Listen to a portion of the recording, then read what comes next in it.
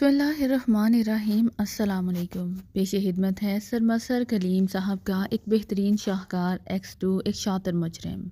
एक नई कहानी सुनी है, सफदर ने जुलिया से मुहातिब होकर कहा, क्या जुलिया ने हैरत अमीज़ लहजे में पूछा एक्स टू इमरान को सीक्रेट सर्विस में शामिल होने पर ज़ोर दे रहा है, सफदर ने इंकशाफ किया। अच्छा ये वाकई नई बात है, तुम्हें किसने बतलाया? जुलिया के चेहरे पर इश्तियाक था, इमरान खुद बतला रहा था, सफदर ने जवाब दिया। हम्म। बकवास करता है। एक्सट्रो को क्या ज़रूरत है उसकी मिन्नतें करने की? जबकि वो खुद उससे काम लेता है। जुलिया ने मुँह बनाते हुए कहा, हो सकता है एक्स टू को कोई ख्याल आ गया हो। इस बिना पर उसे इमरान से कह दिया हो। सफदर ने कहा, नहीं एक्स टू कभी किसी की मिन्नत नहीं करता। वो सिर्फ़ हुक्म देने के लिए पैदा हुआ है और हम जैसे लोग बमा इमरान गए, उसका हुक्म मानने के लिए जुलिया ने मरूब कुन लहजे में कहा।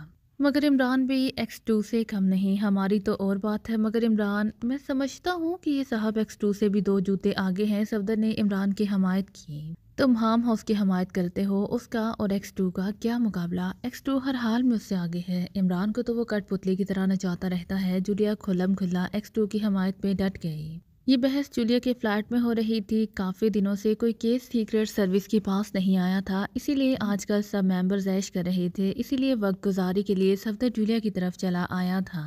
ये ठीक है, मगर इमरान की सलाहियतों का तुम्हें और मुझे हर किसी को अच्छी तरह अंदाज़ा है। वो माफूक और फितरत जहन का मालिक है। सफदर भी शायद बहस प्राय बहस के मूड में आ गया था। इससे पहले कि जूलिया कोई जवाब देती, कॉल बेल ज़ोर ज़ोर से बजने लगी। मैं देखता हूँ, सफदर ने कहा, फिर उठकर दरवाजे की तरफ़ बढ़ गया। उसने दरवाज़ा खोला तो बाहर कैप्टन शकील मौजूद था। हेलो शकील, आज किसी अपने फ्लैट से बाहर निकल आए हो? सफदर के चेहरे पर मुसरतों का समंदर मोचसन हो गया। आप भी यही हैं? बड़ी खुशी हुई। कैप्टन शकील की आँखें भी मुस्कुराने लगीं, फिर वो अंदर आ गया। हेलो जूलिया, क्या हो रहा है? कैप्टन शकील ने मुस्कुराते हुए जूलिया से कहा, बस, सफदर से बहस हो रही थी। जूलिया ने भी जवाबन मुस्कुराते हुए कहा अच्छा वेरी गुड किस मौजू पर बहस हो रही थी? कैप्टन शकील ने सोफे पर बैठते हुए कहा, इमरान और एक्स टू के मौजू पर सफदर ने हँसते हुए जवाब दिया। बहुत खूब बड़ा दिलचस्प मौजू है। कैप्टन शकील ने दिलचस्पी से मुस्कुराते हुए कहा, फिर सफदर ने कैप्टन शकील को भी जेर बहस मौजू के मुतलिक सबका गुफ्तु से आगाह किया। आपका क्या ख्याल है? जुलिया ने कैप्टन शकील से पूछा। वो शायद कैप्टन शकील को भी अपने हमायत में लेना चाहती थी।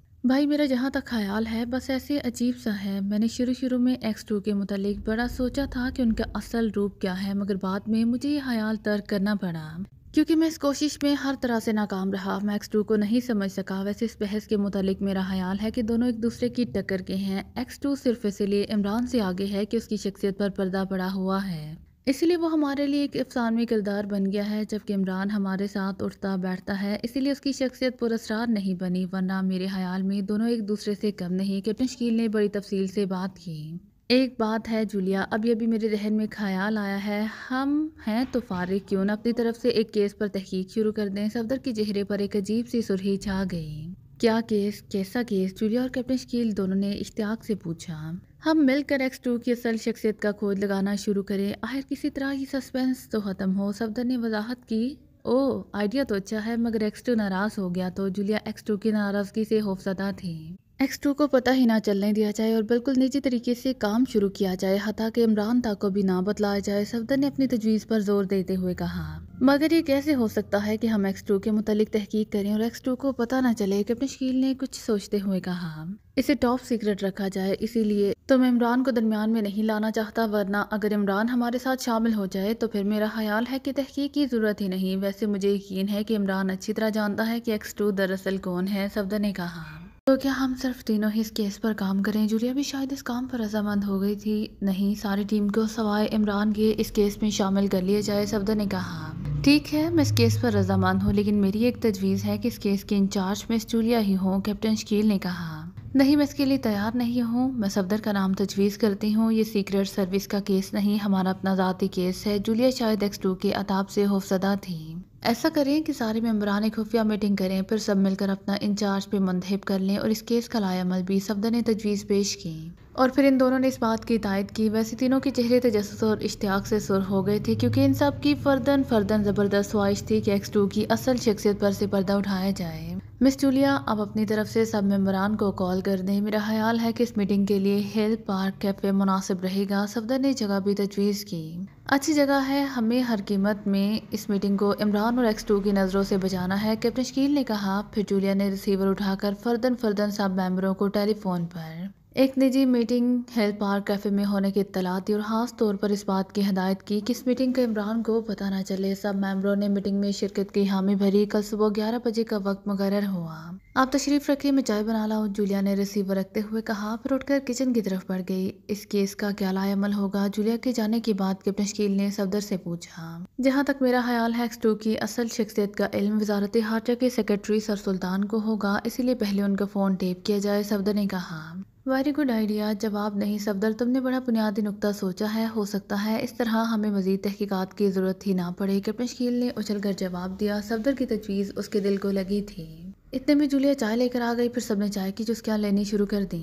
एक बड़ा हॉल नुमा कमरा था, जिसमें एक बड़ी मेज के गर्द इस वक्त चार आदमी बैठे गुफ्तगु में मसरूफ थे। कमरे का दरवाज़ा बंद था और कमरे से बाहर बवर्दी मिलिट्री पुलिस बड़े चुकन्ने अंदाज में बहरा दे रही थी। बाहर दरवाजे के ऊपर सुर्ख बल्ब जल रहा था, जिससे ज़ाहिर था कि अंदर एक कमरे में इंतहाई खुफिया मीटिंग हो रही है। दरमियान में बैठे हुए एक इंतहाई लहीम शहीम, मगर अधेड़ उम्र के आदमी ने जो सर से कतई गंजा था और जिसके चेहरे पर एक पुरवकार से संजीदगी तारी थी, मेज़ पर मुक्का मारते हुए कहा, मैं हर कीमत पर एक्स टू की असल शख्सियत का पता चलाना चाहता हूँ। यह क्रीमिया की सरकारी खुफिया तंजीम डी आई ए का चीफ टॉले फ्रास था। डी आई ए क्रीमिया की ताकतवर तरीन तंजीम थी, जिस वसी जाल मकड़ी की तरह दुनिया के हर मुल्क में फैला हुआ था। हर मुल्क की हकूमत इस तंजीम से बरजा बर अंदाम थी, क्योंकि इसकी एक इशारा हुकूमत की कीमतें तब्दील कर देता था। ये ठीक है कि हमारे लिए एक्स टू की असल शख्सियत का पता चलाना इंतहाई मुश्किल है, लेकिन मगर मैं नहीं चाहता कि एक्स टू के मुकाबले में हम नाकाम रहें, इसीलिए हमें बड़ी संजीदगी से और इंतहाई होशियारी से अपना जाल डालना चाहिए। पास बैठे हुए एक दरमियाने जिसम के मगर इंतहाई क्रह चेहरे के मालिक जान टॉकर मेलर जो अक्रीमा की सीक्रेट सर्विस का चीफ था बोला। वो शायद मुख्तात इसीलिए रहना चाहता था कि उससे पहले उसके तीन बेहतरीन सीक्रेट एजेंट पाकिशा में एक्स टू के हाथों ज़िंदगी की सरहद अबूर करके मौत की वादियों में गुम हो चुके थे। आप क्या बात करते हैं, कर्नल? हम जो भी मंसूबा तैयार करेंगे, इसकी तमाम जुजियात पर गौर किया जाएगा। तब इस मंसूबे की मंजूरी दी जाएगी। तीसरे नंबर पर बैठे हुए एक बाँस के मानद लंबे। और दुबले आदमी ने कहा, जिसकी तोते जैसी नाक, उसके तमाम चेहरे पर छाई हुई थी। ये ब्लैक क्लॉक था एक्रीमिया का शैतान, जिसकी अयारियों से दुनिया पना मांगती थी। मेरे ख्याल में हम जितनी ज़्यादा इस मंसूबे को अहमियत देंगे, इतना ही ये मंसूबा हमारे हक में बेहतर साबित नहीं होगा। इस केस को सिरे से अहमियत ही नींद ना दी जाए, बस किसी ए वन सीक्रेट एजेंट। और ब्लैक क्लार को वहाँ भेज दिया जाए। वहाँ ये अपनी मर्ज़ी से मौका महल देखकर काम करे। मुझे उम्मीद है इस तरह ये जल्दी कामयाब हो जाएँगे। चौथे नंबर पर बैठे हुए एक मनहनी से आदमी ने, जिसकी आँखों में फरासत की चमक झलक रही थी, बोला, नहीं, मिस्टर रैंकन ये काम इतना आसान नहीं जितना आप समझ रहे हैं। जॉन टॉकर मैलर ने ना खुशगवार लहजे में इंटेलिजेंस के चीफ मिस्टर रैंकन से कहा तो मैं से कब गैर अहम कह रहा हूँ? क्या ब्लैक क्लार्क और एवन सीक्रेट एजेंट किसी गैर अहम काम के लिए भेजे जाते हैं? रैंकन ने तला लहजे में जवाब दिया ठीक है, हमें मिस्टर रैंकन की तजवीज़ पर तफसीली बहस कर लेनी चाहिए डॉले फ्रास ने इन दोनों की बहस ख़त्म कराने के लिए कहा। बहस क्या करनी है, मैं जाने के लिए तैयार हूँ, मेरे साथ एक जहीन सीक्रेट एजेंट भेज दो, मैं ऐसा जाल फेंकूँगा कि एक्स टू खुद अपनी शख्सियत का इजहार करने के लिए तैयार हो जाएगा, ब्लैक क्लार्क ने बड़े फहरिया लहजे में डॉले फ्रास से कहा। ठीक है, मिस्टर जॉन, टॉक मेलर, आप अपने सेक्शन के जहीन तरीन एजेंट को इस मिशन पर तैनात कर दें। वहाँ आप लोग मेरे सेक्शन की मदद ले सकते हैं। मैं ऑर्डर भिजवा दूँगा डॉले फ्रॉलस ने फैसलों को लहजे में कहा। और जॉन टॉक मेलर, जो खामोश बैठा अपने सीक्रेट एजेंटों का तस्वुर ही तस्वुर में इंतहाब कर रहा था, अचानक चौंक पड़ा। Very good. Number zero A one इस काम के लिए बेहद मुनासिब रहेगा, उसने मुसरत आमीज़ लहजे में कहा। ज़ीरो ए वन यानी शार्प वाली के मुतलिक तुम कह रहे हो सबने चौंक कर कहा। हाँ वो और ब्लैक क्लार्क अगर मिलकर किसी केस पर काम शुरू करें तो इस केस की नाकामी का सवाल ही पैदा नहीं हो सकता, जॉन टॉक मेलर ने फखरिया लहजे में कहा। मगर वो तो सीक्रेट मिशन ब्लैंक पर गया हुआ है, डाले फ्रास ने सोचते हुए कहा, मुझे आज ही उसका टेलीग्राम मिला है कि वो इस मिशन से फारिग हो गया है, टॉक मेलर ने जवाब दिया। फिर ठीक है, हम श्योर फ़ाइल और ब्लैक क्लार्क को ये मिशन सौंप देते हैं डॉलिफ्टास ने फैसला करते हुए कहा। फिर सबने उस फैसला की भरपूर अंदाज में तो सीख कर दी, चुनाचे फैसला होते ही कागज़ी कार्रवाई मुकम्मल की गई। फिर सबने इस पर दस्तखत करके मीटिंग खत्म कर दी गई। ब्लैक क्लार्क, आपको एक्स टू की फ़ाइल भेज दी जाएगी और मिस्टर जॉन टॉक मेलर आप फ़ौरन शार्प फाइली को तलब करें ताकि वो जल्द अज जल्द अपने मिशन पर रवाना हो जाए। डॉले फ्रास ने आहरी काम जारी किए, फिर मीटिंग बर्खास्त हो गई। गुजशत कई दिनों से सीक्रेट सर्विस के पास कोई काम नहीं था, इसीलिए इमरान की शब रोज़ आजकल बेकार ही गुजर रही थी। ज़्यादा बोरियत होती तो वो सुप्रिटेंडेंट फयाज की गर्दन पर जाकर सवार हो जाता। सुपर फयाज की जान आजकल उसने अजाब में डाल रखी थी और फयाज बड़ी संजीदगी से डिपार्टमेंट से तवील रुखसत लेने पर गौर कर रहा था। इमरान आज अपने फ्लैट से यही सोच कर निकलेगा कि आज सुपर फयाज को दफ्तर से उठाकर किसी होटल ले जाएगा। मगर अचानक ही वो सुपर फयाज के दफ्तर की तरफ़ जाने के बजाय सरहमान के कमरे की तरफ़ चल पड़ा। बस तमागी रो थी बहक गई, सो बहक गई। इमरान साहब कहीं गीदड़ की मौत और शहर का रूह वाला हशर ना हो, वो होती अपने आप से बातें करता हुआ आगे बढ़ता रहा। जल्द ही वो सरहमान के दफ्तर के करीब पहुँच गया। कमरे के बाहर बैठा हुआ बावर्दी चपरासी उसे देखते ही उठ खड़ा हुआ। इमरान की तबीयत को वो अच्छी तरह जानता था, मगर आज इमरान को इधर का रुख करते देखकर उसे बेहद अचंबा हुआ था। क्या मैं साहब को आप क्यामत की इतला दे दूँ? चपरासी ने मोदबाना लहजे में पूछा। मैं खुद मुजस्म इतला हूँ। इमरान ने बड़ी संजीदगी से कहा, फिर पर्दा हटाकर कमरे में दाखिल हो गया। सर रहमान ऑफ़िस में अकेले बैठे किसी फाल के मुताल में गर्क थे। उनकी मेज़ के करीब पहुंचकर इमरान ने बड़ी मासूमियत से पूछा, क्या मैं अंदर आ सकता हूँ जनाब? उसके चेहरे पर हमाकते छाई हुई थी। सर रहमान, उसकी आवाज़ सुनकर यूँ चौंके जैसे उनके पाँव में किसी बिच्छू ने डंक मार दिया हो, वो एक लम्हे तक बगौर इमरान को देखते रहे जैसे ना समझ रहे हों। कि इमरान की इस गैर मतवक़ आमद को क्या मानी पिनाए फिर उनके चेहरे पर नागवारी के तासुरात फैलते चले गए।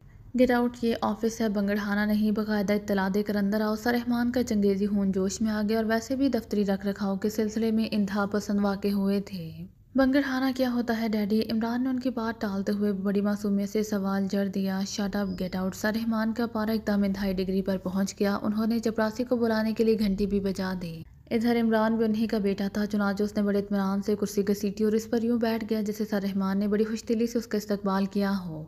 घंटी की आवाज़ सुनते ही चपरासी पर्दा हटाकर अंदर दाखिल हुआ। फिर इससे पहले कि सर रहमान कुछ कहते, इमरान, बोल पड़ा, चाय लाओ और साथ कुछ खाने को भी मैंने पिछले हफ़्ते से नाश्ता नहीं किया। और चपरासी इन्हीं कदमों से वापस मुड़ गया। रहमान भी बसी से होंठ काट रहे थे, क्योंकि चपरासी के सामने वो कोई ऐसी बात नहीं कर सकते थे, जिससे उनका वकार गिरता और इमरान से कुछ बैद नहीं था। कि वो क्या कह देता, लिहाजा सिर्फ़ बेबसी से होन काटने में ही उन्होंने आफियत समझी। चंद लम्हों तक खामोशी तारी रही। इमरान बगौर सरहमान के चेहरे को देख रहा था। सरहमान का चेहरा अब मामूल पर आता जा रहा था।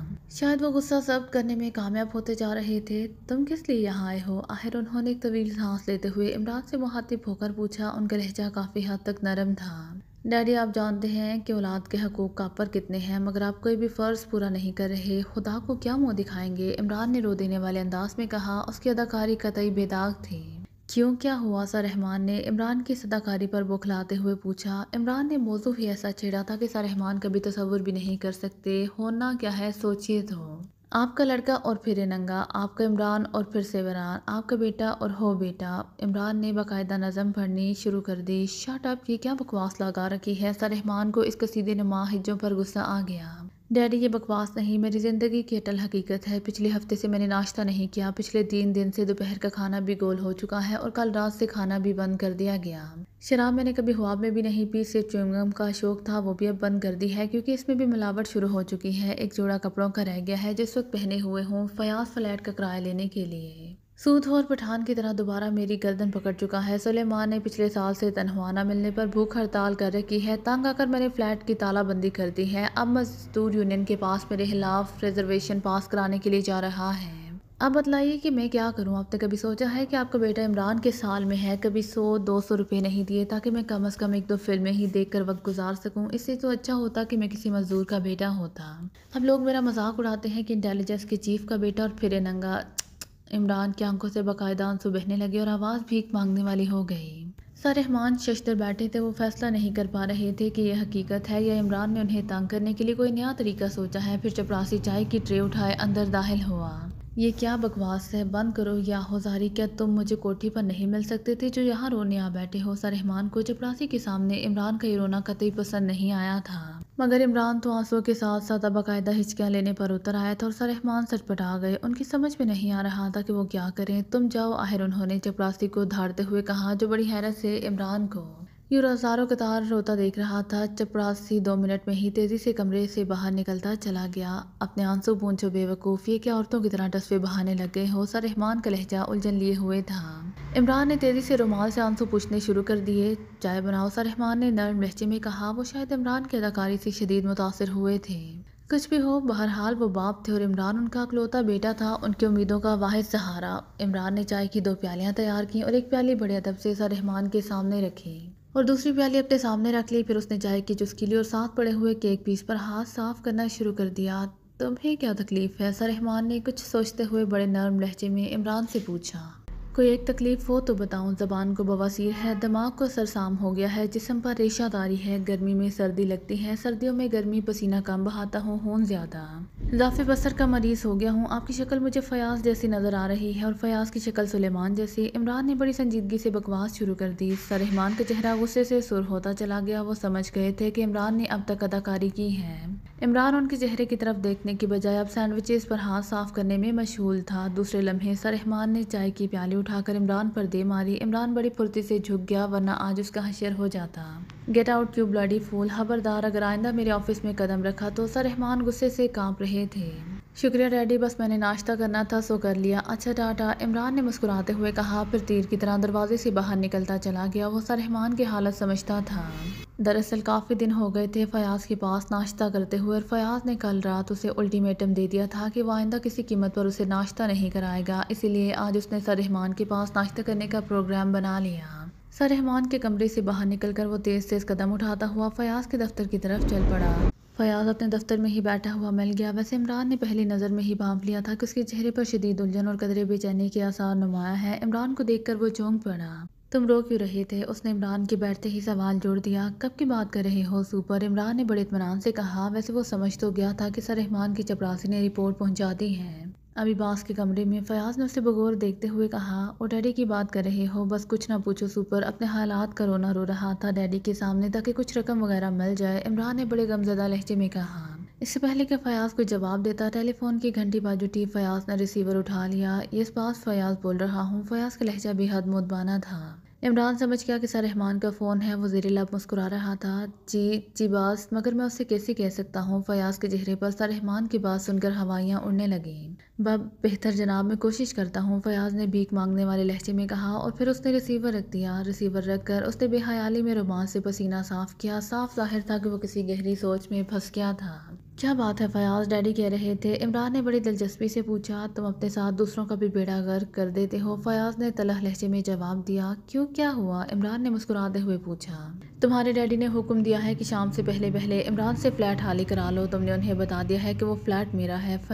फयाज ने फीकी हँसी हँसते हुए कहा तो क्या हुआ? मैं हाली कर देता हूँ। इमरान ने बड़े इतमान से जवाब दिया और फयाज जो हैरत से देखने लगा, जैसे इमरान ने कोई अनहोनी बात कर दी हो, उसके तस्वुर में भी नहीं था कि इमरान ऐसी बात करेगा। शाम को चाबी भिजवा दूँगा, सुपर, इमरान ने बड़ी संजीदगी से कहा और उठकर खड़ा हो गया। अरे अरे, बैठो बैठो, मत हाली करो, मैं खुद बात से निमट लूँगा, फयाज इमरान की इस ठोस संजीदगी पर बोखला गया। और इमरान दोबारा बैठ गया। वो फयाज की तमाम रगों से वाकिफ था। उसे अच्छी तरह इल्म था कि अगर उसने कहा कि नहीं करता तो फयाज सर हो जाता, जबकि उसे सर रहमान की शय भी मिल चुकी थी। क्या बात है उखड़े उखड़े नज़र आ रहे हो। फयाज ने चीप मिटाने के लिए कहा, नहीं, डैडी ने आज अच्छी तरह ठोक बजाकर फिट कर दिया है। उखड़ने का तो सवाल ही पैदा नहीं होता। इमरान ने बड़ी मासूमियत से कहा। और फयाज मुस्कुरा दिया, चलो सुपर, आज ज़रा शहर की सैर करें। काफ़ी दिन हो गए हैं आवारा गर्दी किए हुए। इमरान ने अचानक किसी हयाल से कहा, वो दोपहर के खाने का स्कोप बनाना चाहता था और फयाज तैयार हो गया। फयाज ने कैप हैंगर से उठाकर सर पर रखी और फिर इमरान के साथ बाहर निकल आया। फिर जल्द ही इमरान की कार दफ्तर से बाहर निकल आई। जाना कहाँ है? फयाज ने पूछा, जहाँ तुम चाहो। इमरान ने बड़ी फयाजी से जवाब दिया। तो चलो, ड्रीमलैंड होटल चलते हैं। सुना है वहाँ इंतजामिया ने बड़ी खूबसूरत वेट्रोस रखी हैं। फयाज ने मुस्कुराते हुए इमरान को आँख मारी। ओके, ठीक है, इमरान ने जवाब दिया। और फिर इमरान ने कार का रुख ड्रीमलैंड होटल की तरफ़ मोड़ दिया। जल्द ही कार ड्रीमलैंड होटल के कंपाउंड में मुड़ गई। पार्किंग शेड में कार खड़ी करके वो दोनों नीचे उतरे, फिर होटल के मेन गेट की तरफ़ चल पड़े। इमरान अभी मेन गेट से तकरीबन दस कदम दूर था कि वो अचानक ठटक गया। उसके चेहरे पर हैरत के शदीद आसार उभर आए, मगर जल्द ही उसने अपने आप को संभाल लिया। होटल के मेन गेट से एक पतला, दुबला तवील कामत आदमी, जिसके चेहरे पर तोते की तरह मुड़ी हुई नाक छाई हुई थी, बाहर निकलकर पार्किंग शेड की तरफ़ बढ़ रहा था। इमरान उसे देखकर ही ठटका था। क्या बात है, फयाज ने इमरान को यूँ ठटकता देखकर हैरत से पूछा। कुछ नहीं, इमरान ने उसे टाल दिया, फिर वो मेन गेट की तरफ़ बढ़ गए। वो आदमी जिसे देखकर इमरान ठटका था, उनके करीब से होता हुआ गुजर गया। मेन गेट के करीब पहुंचकर इमरान वापस पलटा, फिर उसने फयाज से कहा, सुपर, तुम बैठो, मैं भी आता हूँ। इमरान ने कहा, फिर वापस पार्किंग शेड की तरफ़ पढ़ने लगा। फयाज हैरत ज़्यादा नज़रों से इमरान को चल लम्हों तक देखता रहा और फिर कंधे झटक कर होटल के अंदर चला गया। वो आदमी तेज़ी से चलता हुआ कंपाउंड से बाहर खड़ी, हाली टैक्सियों की तरफ़ बढ़ गया। इधर इमरान अपनी कार में बैठ गया, फिर उसने कार होटल के गेट की तरफ़ मोड़ दी और रफ्तार बढ़ा दी। अब इमरान इस टैक्सी का ताकुब कर रहा था, जिसमें उसका मतलूबा आदमी सफ़र कर रहा था। हेल पार्क कैफ़े के बसियोरीज लॉन में एक तरफ़ कुर्सियाँ बिछी हुई थी और इन पर सीक्रेट सर्विस के तमाम अरकान मौजूद थे। उन्होंने ये कोना होती मंतब किया था क्योंकि ये बिल्कुल अलग थलग वाक़ हुआ था और उनकी कुर्सियों से काफ़ी फासले था, कोई और आदमी मौजूद नहीं था। चाय सर्व हो चुकी थी। जूलिया ने सफदर की तजवीज़ सब मेंबर्स के सामने पेश की और सब मेंबर्स ने पूरी दिलचस्पी और इश्ताक से सफदर की तजवीज़ की हमायत की। ये उनकी ज़िंदगी का कतई अजीब व गरीब केस था। एक ऐसा केस जो किसी मुजरिम के खिलाफ नहीं, बल्कि खुद सीक्रेट सर्विस के चीफ के खिलाफ था और एक लिहाज से ये उनका ज़ाती केस था। एक बात है, अगर चीफ को इस मीटिंग का पता चल गया तो वो इंतहाई सख्त इकदाम करेगा। चौहान ने कहा हाँ हमारी कामयाबी तो यही है कि उसे इस बारे में कतई इल्म ना हो, तनवीर ने पुरजोश लहजे में जवाब दिया। चूँकि हम सब इस केस में मुलविस होंगे, इसलिए एक्स टू कोई सख्त कदम उठाने से गुरेज करेगा, कैप्टन शकील ने कहा। हमें इस सिलसिले में एक बाकायदा लायामल मुरतब कर लेना चाहिए, जूलिया ने कहा। फिर सब मेंबर्स ने उसकी तजवीज़ से इत्तेफाक किया, फिर सबने जूलिया की तजवीज़ पर सफदर को इस केस का इंचार्ज तस्लीम कर लिया। मेरे पास एक तजवीज़ है, अगर आप लोग इसे मंजूर कर लें तो इस केस की इब्तदा की जाए, सफदर ने कहा। ज़रूर ज़रूर, तनवीर ने जवाब दिया। वो उस केस में सबसे ज़्यादा पुरजोश नज़र आ रहा था। मेरे ख्याल में सर सुल्तान एक्स टू की असल शख्सियत से आगाह है, चुनाचे अगर सर सुल्तान का फ़ोन टेप कर लें तो हमें मालूम हो सकता है। कि एक्स टू कौन है? सफदर ने तजवीज़ पेश की। ठीक है, मगर ये कोई ज़रूरी तो नहीं कि सर सुल्तान फ़ोन पर एक्स टू को असल नाम से पुकारेंगे। जुलिया ने कहा, एक अमकान है। बहरहाल सफदर ने तजवीज़ पेश की।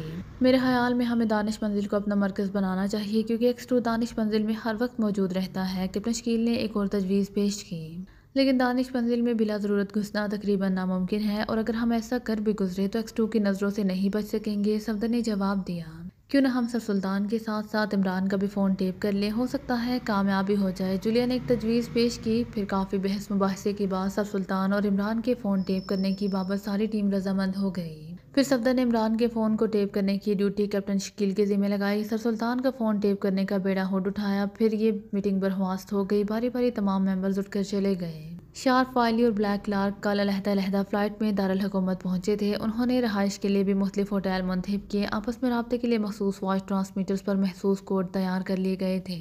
शार्प फाइली एयरपोर्ट पर उतरा तो वह गैर मुल्की सियाह के रूप में था। कस्टम से फारिग होकर वह एयरपोर्ट से बाहर आया। फिर पार्किंग शेड में खड़ी खाली टैक्सी की तरफ़ बढ़ा। हाली है, उसने करीब पहुंचकर ड्राइवर से पूछा। ये सर ड्राइवर ने बड़े मोतबाना लहजे में जवाब दिया और शार्प फाइली दरवाज़ा खोलकर अंदर बैठ गया। कहाँ चलूँ सर? टैक्सी ड्राइवर ने जवाब तलब निगाहों से देखते हुए पूछा। किसी अच्छे होटल में शार्प फाइली ने बेनियाजी से जवाब दिया और टैक्सी आगे बढ़ गई। मुख्तलिफ़ सड़कों से गुजरते हुए टैक्सी कजीमुल शान होटल के कंपाउंड में मुड़ती चली गई। साहब मून लाइट दारकूमत का बेहतरीन होटल है। टैक्सी ड्राइवर ने पार्किंग शेड में टैक्सी रोकते हुए कहा, थैंक यू शार्फ वाली ने मुस्कुराते हुए कहा, फिर वो नीचे उतर आया। उसने मीटर देकर किराया दिया और ब्रीफ केस उठाए मेन गेट की तरफ़ चल पड़ा। काउंटर पर मौजूद खूबसूरत लड़की ने बड़ी अदा से मुस्कुराकर शार्फ वाली का इस्तकबाल किया। एक सिंगल रूम मिल जाएगा शार्फ वाली ने अहलाकर मुस्कुराते हुए कहा। ज़रूर, हमें आप जैसे मौसस गाहकों की खिदमत करके बड़ी खुशी होती है, काउंटर गर्ल के अल्फाज कारोबारी थे, फिर उसने कीबोर्ड पर नज़रें जमाते हुए कहा। दूसरी मंजिल रूम नंबर सोलह हाली है। बेहतरीन सिचुएशन का रूम है। जनाब, काउंटर गर्ल ने कहा, ठीक है, बुक कर दो। शॉर्फ वाली ने कहा, फिर रजिस्टर पर ज़रूरी इंदराजात करने के बाद एक रिपोर्टर की रहनुमाई में वो दूसरे मंजिल के कमरा नंबर सोलह में पहुँच गया। होटल में उसने अपना नाम शार्फ वाली ही लिखवाया था क्योंकि उसका पासपोर्ट भी उसके असली नाम से था। पोर्टर के बाहर जाते ही उसने दरवाज़ा बंद करके सबसे पहले बड़ी मोहतात नज़रों से कमरे का जायजा लिया, फिर उसने ब्रीफ केस खोला और उसके एक खुफिया तह से उसने गायकर निकाला। फिर उसने गायकर की मदद से कमरे और बाथरूम की एक एक चीज़ को चेक किया। उसकी अब तक की कामयाबी का राज भी यही रहा था कि वो हर कदम पर मोहतात रहता है, उसे खतरा था। कि कहीं कमरे में कोई डक्टा फ़ोन ना छुपा दिया गया हो, मगर चेकिंग के बाद उसे इतमान हो गया कि ऐसी कोई बात नहीं है। उसने गायकर दोबारा ब्रीफ केस में रखा और खुदे कराम कुर्सी पर बैठ गया। उसने रिसीवर उठाकर काउंटर गर्ल को कॉफ़ी भेजने की हदायत की। फिर आइंदा के राय अमल पर गौर करने लगा। जल्द ही एक खूबसूरत वेटरस कॉफ़ी की ट्रे लिए अंदर दाखिल हुई। उसने कॉफ़ी बनाकर शार्फ वाली को दी, फिर मुस्कुराती हुई वापस चली गई। शार्फ वाली गहरी संजीदगी से मौजूदा केस के हर पहलू पर सोच विचार कर रहा था। एक्स टू की जो फ़ाइल उसे दी गई थी, वो इंतहाई नामुकम्मल और नाकस थी। उसमें सिर्फ़ सुनी सुनाई बातों का ज़िक्र किया गया था और कोई ऐसी इतला नहीं थी।